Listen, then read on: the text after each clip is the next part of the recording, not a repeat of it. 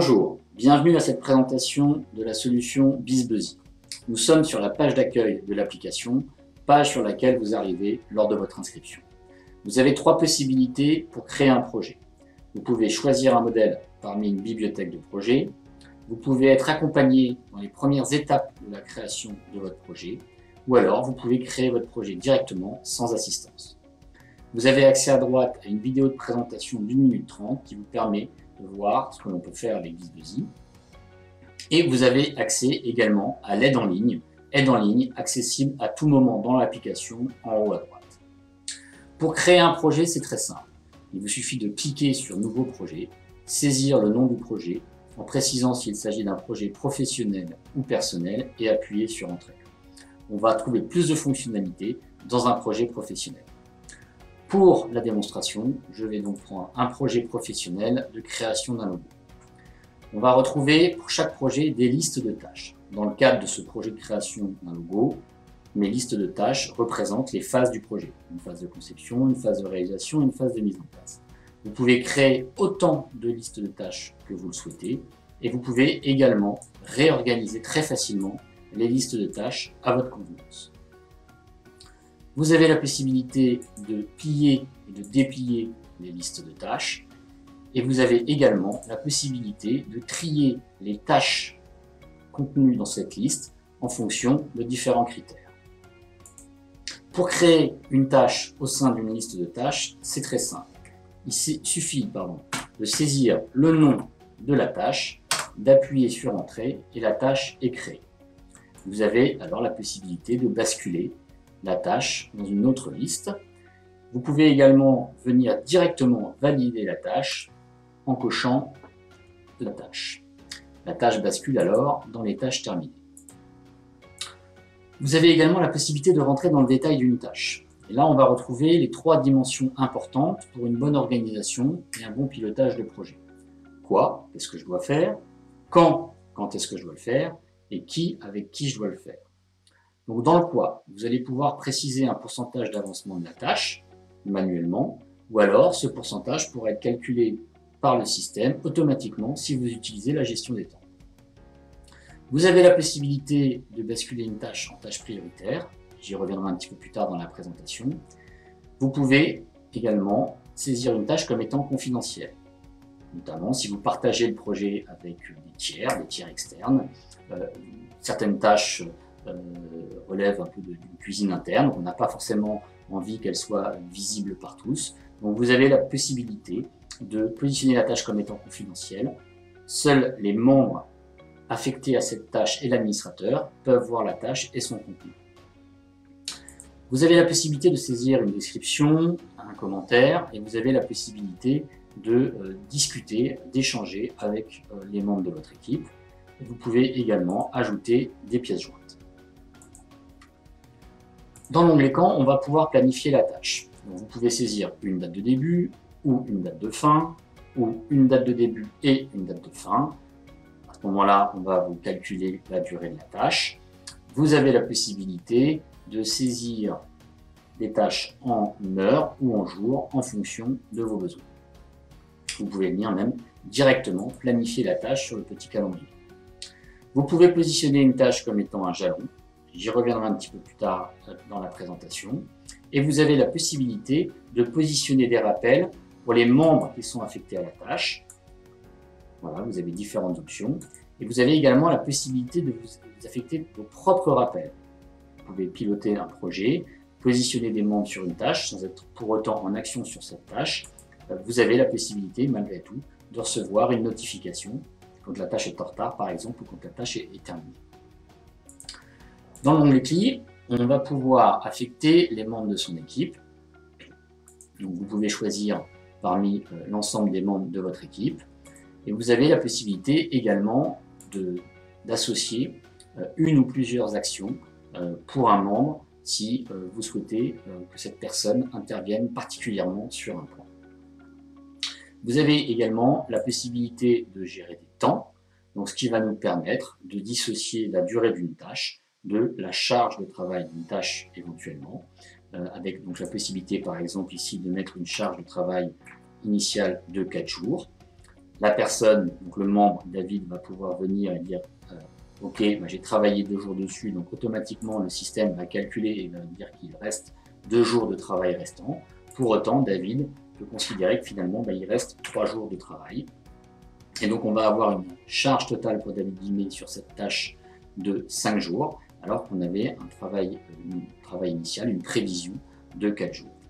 On a la possibilité de rentrer plus finement dans la planification pour un membre sur une tâche. J'y reviendrai ultérieurement dans la présentation. Pour un bon pilotage, euh, la communication est essentielle et euh, on a fait le choix euh, de proposer une communication à la demande dans la mesure où on considère que les utilisateurs savent quand ils doivent communiquer. Donc c'est ce qu'on appelle le buzz.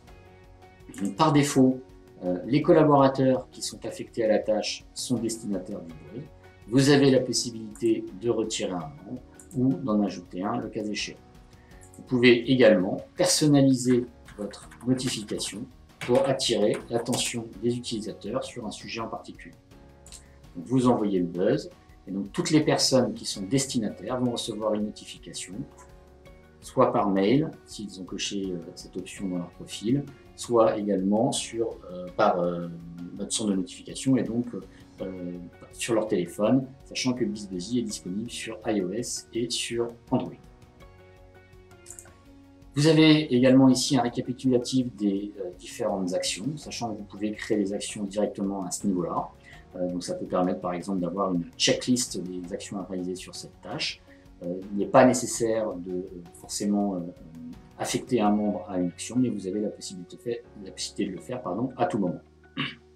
Vous avez également la possibilité de créer des actions quand on saisit un commentaire, ce qui permet par exemple quand on saisit un compte-rendu euh, de réunion, euh, eh ben de générer des actions en automatique en appuyant sur euh, le bouton d'action. On voit ici, ils se sont positionnés. Et donc, vous avez la possibilité d'affecter éventuellement à ce moment-là sur, sur une action en particulier.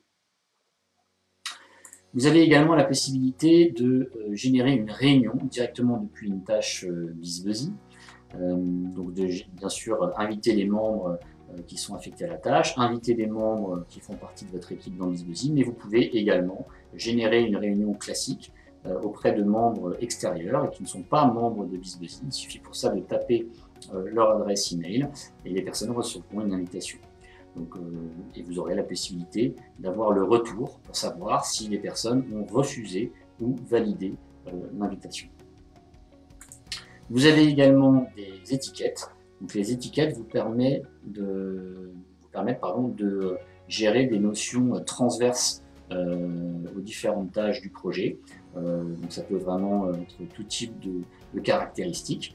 On voit ici par exemple une notion de bloquant majeur mineur. Donc ça peut être une notion de priorité, ça peut être aussi une notion d'équipe, euh, ça peut être une notion de statut.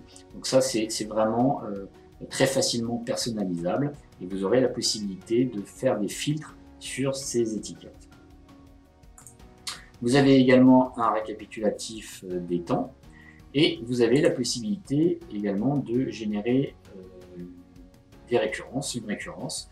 Euh, donc si par exemple la tâche BizBuzzy est une réunion, un copie qui a lieu tous les lundis, bah, vous avez la possibilité de générer une récurrence sur cette tâche en précisant la fréquence, le nombre d'occurrences et on va créer autant d'occurrences que souhaité.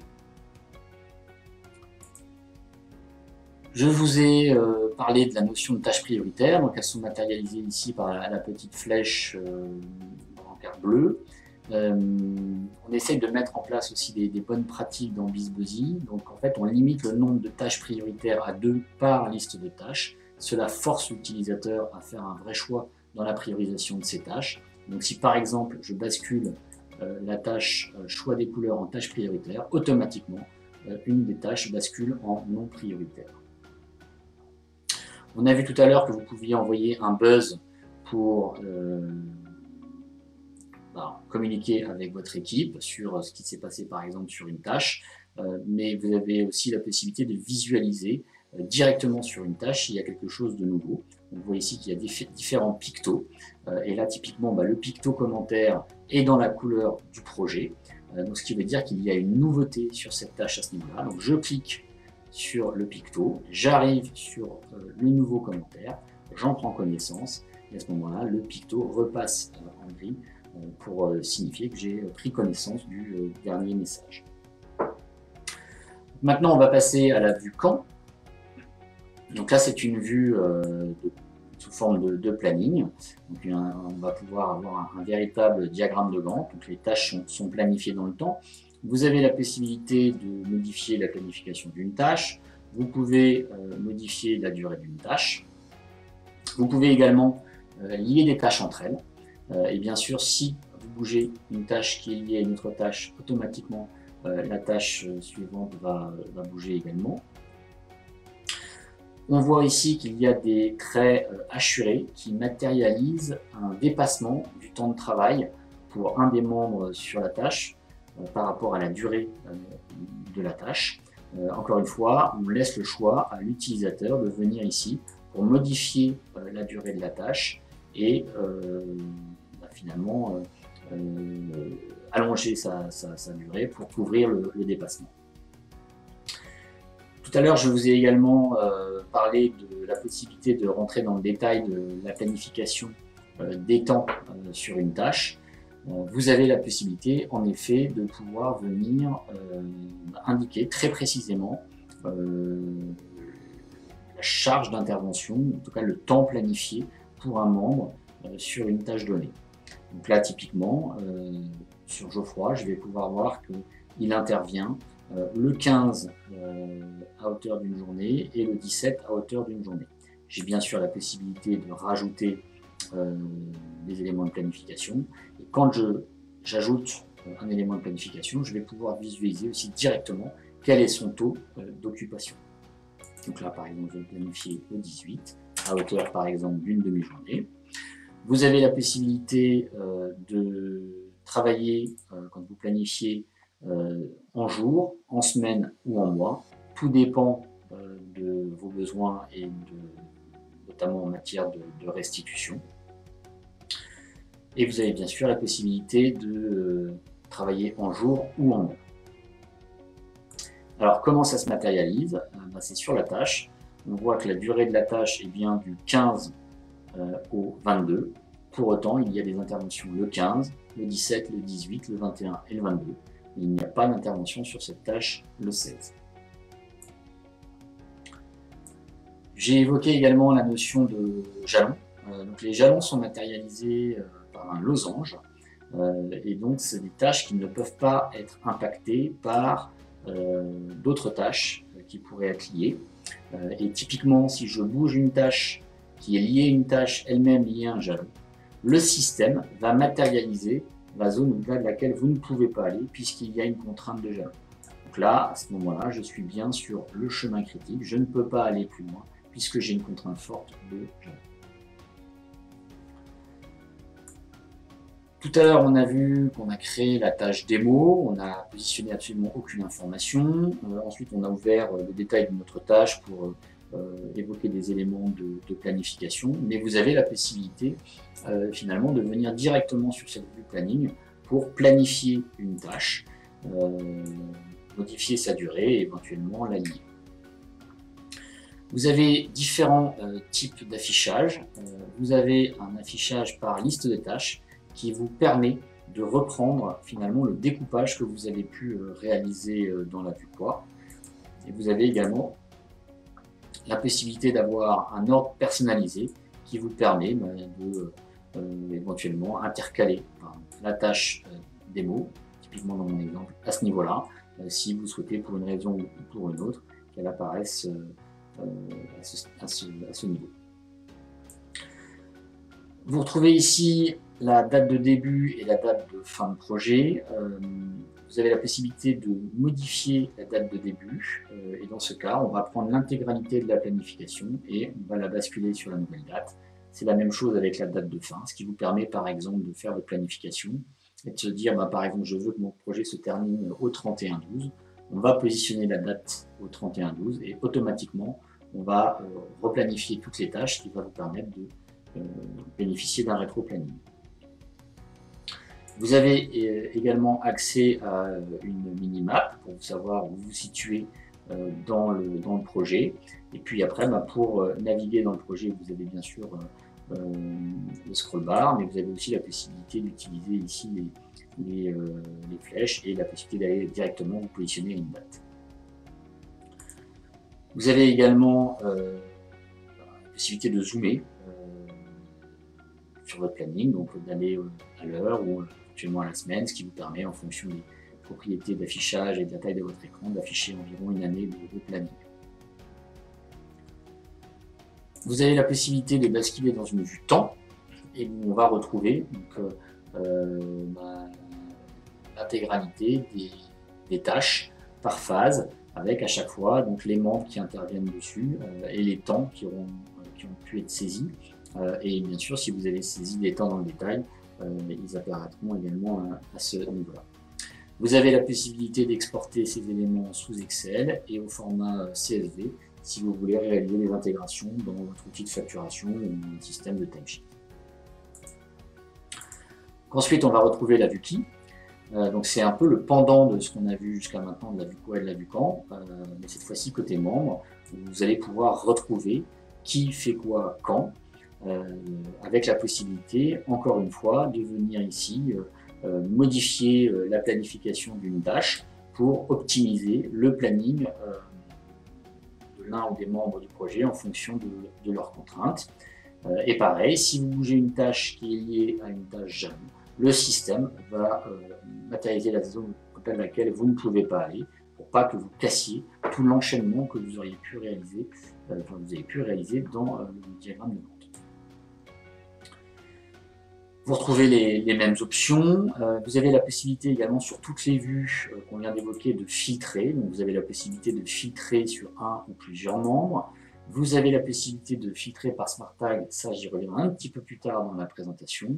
Vous pouvez filtrer également par état, si par exemple vous voulez voir que les tâches en retard.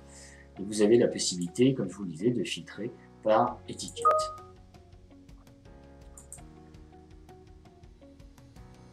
On va ensuite euh, retrouver les paramètres du projet, pardon, avec différentes rubriques. On va avoir déjà la rubrique du projet, avec euh, bah, la possibilité de créer des champs. Euh, vous avez la possibilité de créer des champs personnels qui seront visibles uniquement par vous et qui seront partagés sur l'ensemble de vos projets, ce qui par exemple permet de gérer des notions de, typologie de projet. Et vous avez la possibilité également de créer des champs euh, complémentaires qui, eux, seront visibles par tous les membres du projet avec lesquels euh, vous partagez le projet. Vous avez la possibilité euh, d'archiver et de supprimer un projet, sachant que vous avez également la possibilité de dupliquer un projet, ce qui vous permet de créer finalement des projets modèles que vous allez pouvoir dupliquer partager ensuite avec des membres euh, et tout en pouvant bien sûr archiver euh, le projet d'origine et le désarchiver à votre convenance quand vous en aurez besoin. On va ensuite retrouver des options d'affichage. Vous avez la possibilité de préciser si vous préférez voir la date de début, la date de fin ou la durée sur les tâches. Si vous voulez avoir un zoom sur les heures travaillées au niveau des plannings pour vraiment euh, avoir un maximum d'espace disponible euh, sur, les, euh, sur le, temps de travail. Vous avez la possibilité d'augmenter euh, l'affichage du statut des tâches.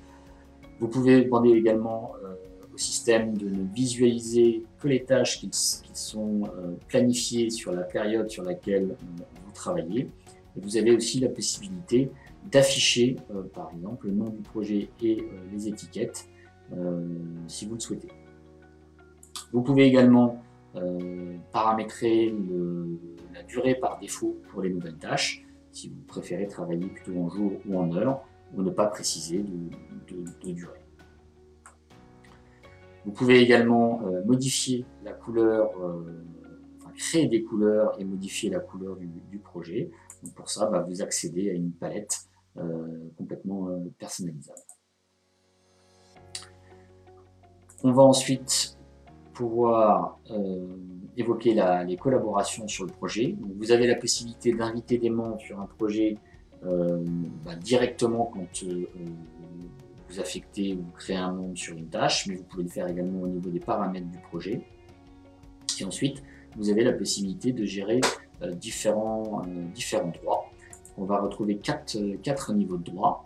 Pas d'accès, si vous voulez pouvoir gérer le membre ou la ressource, parce que ça peut être aussi une ressource virtuelle. Vous pouvez tout à fait gérer des ressources euh, génériques, type euh, chef de projet, client, euh, on peut même gérer des ressources matérielles, des voitures, des salles de réunion, etc. donc vous pouvez tout à fait donner un, enfin, gérer un membre sans lui donner accès au projet. Vous avez la possibilité de positionner les droits en lecture seule. Donc là, le membre pourra saisir uniquement des commentaires, valider ses propres actions ou saisir ses propres temps. Vous avez la possibilité de positionner les droits en modification. Donc là, l'utilisateur, le membre, va pouvoir euh, créer des tâches, euh, modifier euh, les dates. Et vous pouvez également associer les droits administrateurs. Vous pouvez avoir plusieurs administrateurs sur un projet. L'administrateur va pouvoir modifier le droit des autres membres et il va pouvoir également dupliquer et archiver un projet. On a évoqué tout à l'heure la notion de, ressources euh, virtuelles. Euh, bah, vous avez la possibilité de remplacer euh, des ressources dans BizBuzzy, ce qui vous permet par exemple de planifier des projets avec des ressources génériques, chef de projet, client, etc., de créer des projets types avec ces ressources, de les dupliquer et après éventuellement de venir remplacer ces ressources par de réels utilisateurs euh, en fonction justement de tout travail de planification que vous aurez pu euh, réaliser. Vous avez également la possibilité d'affecter par défaut un ou plusieurs membres euh, en création de tâches sur ce projet. Donc il suffit de cocher ici les, différentes, les différents membres qui pourraient être concernés. Et ensuite, on va retrouver le calendrier du projet. Donc là, vous avez la possibilité de personnaliser les horaires de travail sur ce projet vous pouvez découper tout à fait les journées en, différentes, euh, en différents créneaux horaires euh, et on va intégrer euh, toutes ces contraintes dans la planification. Donc si par exemple je positionne le mercredi comme étant un jour off, si je planifie une tâche le lundi d'une durée de 5 jours, automatiquement elle basculera sur le lundi d'après pour tenir compte de cette journée off le mercredi. C'est très simple de repositionner une journée. Vous pouvez également ajouter des, jours non travaillés comme des, jours fériés. On gère le fuseau horaire si jamais vous avez euh, différents, euh, différents sites euh, à l'étranger. Et vous avez la possibilité de synchroniser l'intégralité des tâches du projet avec Google Agenda ou avec Outlook Office 365. Pour finir sur la présentation d'un projet, vous avez la possibilité également euh, de dupliquer une tâche. Vous pouvez également dupliquer une liste de tâches. Euh, et vous avez la possibilité de basculer une tâche éventuellement sur un autre projet. Vous avez également la possibilité de basculer l'intégralité euh, de la liste d'une tâche sur un autre projet. Voilà, donc dans BizBuzzy, on va pouvoir gérer vraiment tout type d'activité. Donc on peut par exemple gérer dans son processus de recrutement, avec par exemple ici euh, euh, la liste des CV, reçus à traiter. Et puis après, ben, on matérialise le process dans son organisation. donc par exemple, on va avoir pour un candidat la possibilité de saisir le compte-rendu de l'entretien, de positionner son CV en pièce jointe, et si l'entretien s'est bien passé, de venir éventuellement le basculer dans le processus suivant. On a la possibilité euh, de gérer par exemple des, tâches administratives et comme je vous le disais en introduction, on peut également euh, gérer euh, ses projets personnels avec par exemple un projet de, course. Tout ça pour vous montrer qu'on peut vraiment matérialiser très facilement différents types de, projets dans BizBuzzy. Quand on gère de multiples projets, ce qui va être intéressant, bah, c'est de pouvoir bénéficier justement d'une vue multi-projet. Donc là, on va retrouver euh, différentes, euh, différentes vues. Alors, première vue euh, planning, qui permet vraiment de visualiser les tâches dans le temps des projets qu'on aura pu sélectionner, puisque au niveau de la vue multiprojet, au niveau de vos filtres, vous allez retrouver une option supplémentaire qui est de pouvoir choisir un ou plusieurs projets. Donc là, on va retrouver les, les différentes tâches des deux projets que j'ai pu sélectionner. Et vous allez pouvoir continuer à, à ce niveau-là, venir travailler et replanifier une tâche éventuellement pour optimiser le planning des projets en question. Et bien sûr, si vous bougez une tâche qui est liée à une contrainte de jalon, encore une fois, on vous matérialisera la zone au-delà de laquelle vous ne pouvez pas aller pour pas casser tout l'enchaînement que vous avez pu réaliser dans, votre diagramme de vente. Vous allez retrouver un Gantt, cette fois-ci multi-projet, avec la possibilité de basculer dans une vue temps, et là de visualiser pour chaque projet l'intégralité euh, des temps euh, planifiés, passés, euh, euh, par, les membres de votre équipe, avec encore une fois la possibilité d'exporter tout ça sous Excel ou au format CSV. Et puis ce qui va être très intéressant, bah, c'est la possibilité effectivement de euh, basculer sur une vue calendrier, où là vous allez pouvoir visualiser pour chaque membre de votre équipe l'intégralité des tâches sur lesquelles ils interviennent, quels que soient les projets, ça peut être des projets internes, des projets clients, etc., etc. Avec encore une fois la possibilité de venir ici modifier euh, la planification d'une tâche pour optimiser le planning euh, d'un collaborateur. Vous allez ensuite trouver un mode de présentation qui vous permet de maximiser euh, l'affichage de travail. la particularité de ce mode, bah, c'est que vous allez pouvoir continuer à travailler. vous allez pouvoir rentrer éventuellement dans le détail d'une tâche, saisir des temps, saisir un commentaire, etc.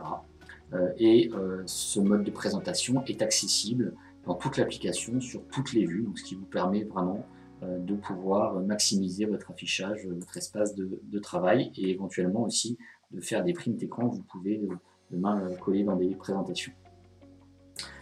Vous trouverez également ici donc l'aide en ligne évoquée rapidement en introduction. Donc on va décrire ici par catégorie toutes les fonctionnalités de l'application. On va trouver ensuite euh, l'espace de notification, donc l'espace dans lequel on reçoit euh, nos buzz. Euh, donc tout à l'heure, on s'est envoyé un buzz sur notre tâche, proposition de plusieurs pistes graphiques en précisant démonstration. donc si je clique dessus, je vais même avoir le détail des actions que nous avons pu réaliser sur, sur cette tâche avant d'envoyer le buzz, qui vous permet aussi d'avoir une, une piste d'audit sur ce qui s'est passé. Vous allez recevoir d'autres types de buzz, comme par exemple un remerciement, puisque vous avez la possibilité euh, d'envoyer des récompenses euh, en les personnalisant euh, à vos collaborateurs. Vous allez recevoir des notifications bien sûr de BizBuzzy quand on sort des évolutions. et vous recevez des rappels quand vous avez positionné une, alerte sur, sur une tâche. Vous serez également informé quand vous allez collaborer avec quelqu'un, quand vous allez recevoir une invitation ou qu'une invitation va être acceptée. On a ensuite les tableaux de bord. Alors, on va retrouver euh, les tableaux de bord individuels. Donc ça, c'est vraiment euh, l'espace qui est réservé euh, à l'utilisateur avec des indicateurs qui sont existants. Vous avez la possibilité de les réorganiser, d'en supprimer, d'en ajouter en fonction vraiment de ce que vous souhaitez visualiser. Et puis, euh, si ce n'est pas euh, suffisant, vous avez la possibilité de créer des indicateurs personnalisés pour vous-même, mais également pour euh, des membres de l'équipe. Vous avez la possibilité de créer très facilement un indicateur. Il suffit de saisir le type, le type de tâche. Donc, par exemple, les tâches du jour sur le projet création d'un logo pour tous les membres. Vous ajoutez et on va retrouver, bah, il y a une tâche aujourd'hui. Si je clique sur la carte, j'arrive bien sur la tâche en question, j'ai la possibilité de venir ici visualiser le détail. Vous avez également ensuite la possibilité de créer euh, vos portefeuilles de projets, euh, donc de créer vos regroupements de, projets pour avoir une vue un peu plus synthétique de l'avancement des, différents projets par, portefeuille. donc notamment là j'ai créé un indicateur marketing dans lequel j'ai regroupé euh, mes trois, euh, trois projets marketing, notamment euh, notre projet création d'un logo. Donc j'ai une vue synthétique de l'avancée du projet, avec son pourcentage d'avancement, le retard le plus élevé, etc. Et je vais avoir la possibilité de rentrer dans le détail et donc de retrouver finalement mon découpage avec mes différentes phases et d'aller après dans le détail de, ces phases-là pour voir quelles sont les tâches dans les temps, les tâches à venir, les tâches en part, les tâches terminées, etc. Vous remarquez que euh, sur un certain nombre de fonctionnalités, on a des petites vidéos de, présentation qui vous permettent de visualiser en 1 minute, 1 minute 30 les principales caractéristiques de la fonctionnalité. On va ensuite euh, voir les membres. Donc là, c'est vraiment euh, la liste euh, sous forme de contact de tous les membres que vous avez pu créer. Donc on va bien sûr retrouver des utilisateurs qui collaborent avec vous, qui sont membres de votre équipe. et vous avez aussi la possibilité, comme je vous le disais, de créer des, membres, des ressources virtuelles. Donc après, si on rentre dans le, détail d'un membre, bah, pour créer un membre, il faut saisir son nom, prénom, son adresse mail et, euh, l'inviter. Vous avez ensuite la possibilité de créer des champs personnalisés sur euh, la fiche du membre, pour ajouter par exemple des informations de, téléphone, d'adresse, euh, etc. Et vous avez la possibilité d'associer des smart tags.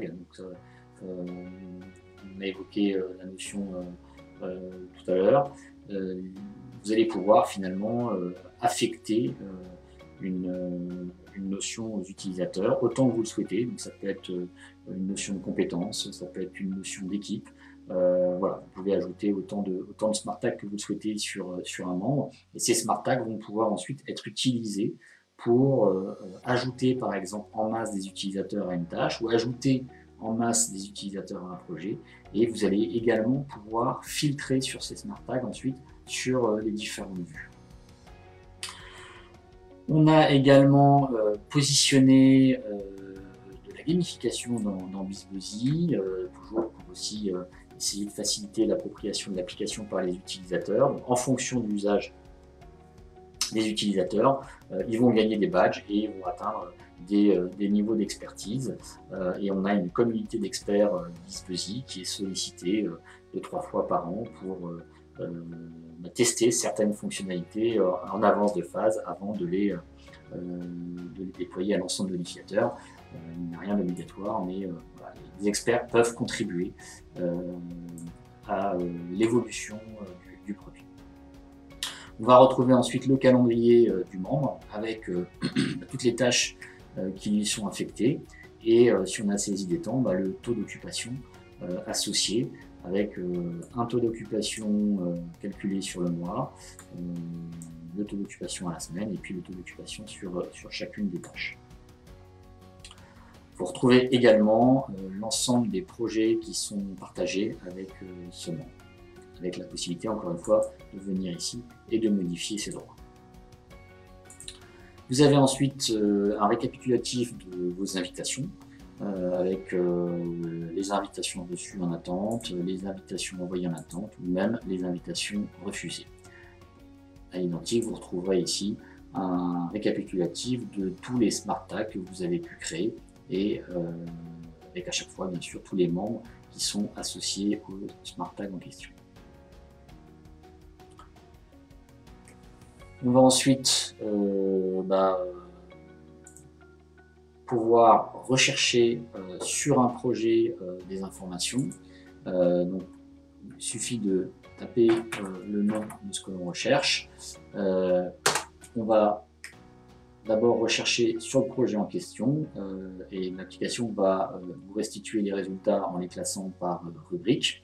Et vous avez également la possibilité de venir étendre la recherche à toute l'application. Euh, et là, le moteur de recherche ira rechercher partout et encore une fois va vous ramener les, résultats euh, par rubrique et on ira même chercher dans le, dans le titre d'une euh, pièce jointe. Ensuite, dans votre profil, enfin de votre utilisateur, vous avez accès à différents menus. Donc, vous avez accès à tous les projets que vous avez pu archiver, avec la possibilité même d'avoir un moteur de recherche dédié aux, projets archivés. Donc vous avez la possibilité de, de les désarchiver. Il n'y a aucune limite dans l'archivage des, projets et le fait d'archiver ou de désarchiver. Vous pouvez vraiment le faire comme, vous le souhaitez. Au niveau du profil utilisateur, donc on va retrouver les, les badges de son propre utilisateur. On va accéder à son propre euh, calendrier, avec les tâches sur lesquelles on est positionné. Vous avez euh, bien sûr la possibilité de initialiser votre passe. Vous pouvez euh, choisir la langue, sachant que BizBuzzy est disponible en français et en anglais. Vous pouvez cocher ou décocher le fait de recevoir les campagnes BizBuzzy, c'est une campagne de communication, mais c'est uniquement la communication euh, BizBuzzy. Et vous pouvez également euh, choisir de recevoir les notifications euh, Buzz par euh, email. Vous avez la possibilité de gérer deux adresses mail, une adresse mail pour vos Buzz Pro et une adresse mail pour vos Buzz personnels. Vous avez également la possibilité de personnaliser l'application euh, avec euh, votre marque et vos couleurs. ça c'est très simple, il suffit de télécharger votre logo. Vous avez la possibilité aussi de positionner un, lien de, redirection vers votre site internet et de choisir donc une couleur. Donc, en l'occurrence, je vais positionner le blanc et l'application, donc l'intégralité de l'application, prend euh, les couleurs de votre entreprise. Ce sera le cas également de euh, l'application mobile. Enfin, si je reviens sur le profil, euh, vous avez la possibilité de créer un calendrier par défaut qui sera appliqué à tous les nouveaux projets que vous allez créer, ce qui vous permet d'avoir un calendrier type qui se positionne par défaut à chaque création de projet. Et puis quand vous avez des utilisateurs que vous souhaitez inviter sur votre euh, abonnement, vous avez la possibilité de les euh, positionner directement dans, votre abonnement, mais vous avez aussi la possibilité de créer un code au niveau de votre abonnement et de diffuser ce code dans l'entreprise. Et les utilisateurs euh, auront possibilité de s'inscrire gratuitement dans BizBuzzy, de venir dans leur profil et de saisir ce code d'invitation et automatiquement ils basculeront dans votre, dans votre abonnement. Voilà, on a fait un, tour assez complet de, l'application euh, web. Euh, je me propose de vous montrer aussi rapidement euh, l'application mobile. Voilà, donc là on peut visualiser donc, la notification qu'on s'est envoyée tout à l'heure. Et puis bah, je vais rentrer euh, dans l'application BizBuzzy. On va retrouver sa liste, euh, sa liste de projets avec notre projet euh, création d'un logo. là, on va pouvoir rentrer dans le projet et on va retrouver exactement la même logique que dans l'application web. L'idée étant vraiment de faciliter l'appropriation de l'application mobile par les utilisateurs. et donc, on va retrouver nos listes de tâches. Euh, on va pouvoir basculer d'une liste à l'autre et on va pouvoir également rentrer euh, dans euh, le détail d'une tâche. On va retrouver nos trois onglets quoi conquis avec dans l'onglet quoi la possibilité de positionner la tâche comme étant prioritaire ou confidentielle, de modifier éventuellement la progression si elle n'est pas pilotée automatiquement par, par l'application, et puis la possibilité de créer des, commentaires et de joindre des documents. Dans l'onglet quand, on va retrouver euh, euh, les, mêmes, fonctionnalités avec euh, la possibilité de saisir une date de début, une date de fin, de positionner la tâche comme étant un jalon. Et puis dans l'onglet qui, à l'identique, on va pouvoir sélectionner des membres, créer des actions, saisir ces temps, soit au niveau général, voire même au niveau, au niveau de détail. Vous allez retrouver un grand nombre des, fonctionnalités qu'on a pu évoquer dans, l'application euh, web, euh, avec euh, un peu la même logique aussi en termes de, menu. donc par exemple, si je vais dans mon tableau de bord, je vais retrouver mes, indicateurs individuels, avec la possibilité donc, de cliquer sur par exemple les, tâches en cours et de visualiser les tâches concernées et éventuellement même de rentrer dans le détail d'une tâche. Voilà, bah écoutez, euh, je pense qu'on a fait un tour complet de, de l'application. N'hésitez pas à nous solliciter si vous avez d'autres questions et je vous remercie euh, de votre attention. Au revoir.